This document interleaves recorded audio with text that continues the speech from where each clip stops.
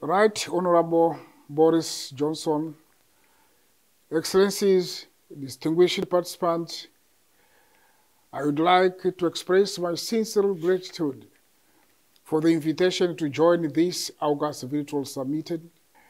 Distinguished participants, this summit is taking place at the time when the world is facing one of the most critical struggles for the existence of humanity due to the COVID-19 pandemic. The government of Mozambique recognizes that immunization is the best and safer investment for the health. Through its partnership with the Gavi, Mozambique has been able to significantly improve child health.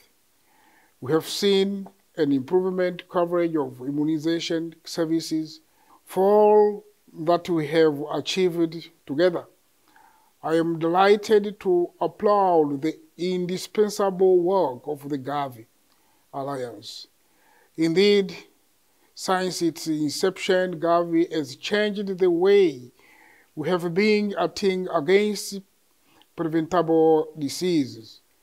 Excellencies, distinguished participants, Mozambique has also been declared since 1990 endemic to cholera outbreaks, particularly in the northern provinces during the rain season. In our efforts to respond to cholera outbreaks, we have been implementing targeted vaccinations campaigns where Gavi and its partners have been playing a vital role by providing us with much needed vaccine stockpiles which helped the country to stop the spread of the disease.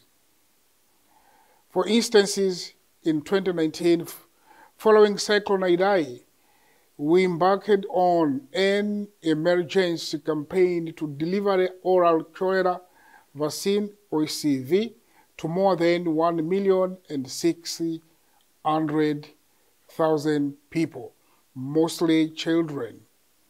This has been possible thanks to the investment on data collection with the support of Gavi Alliance. We are so grateful. The lesson learning, learning is that coordinated efforts is identifying and tracking the progression of cholera and other VPD outbreaks can facilitate planning for the right emergencies response.